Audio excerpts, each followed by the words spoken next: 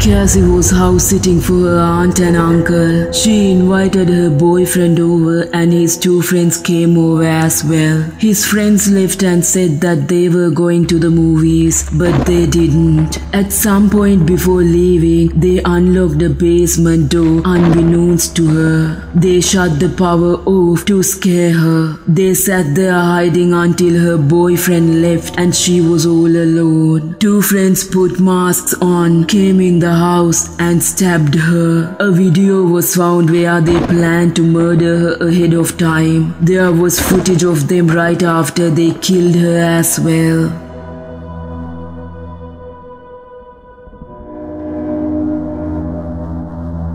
If you like to watch more stories like this, don't forget to subscribe to our channel. If you think our stories are good, give us a thumbs up and don't forget to share our videos among your friends.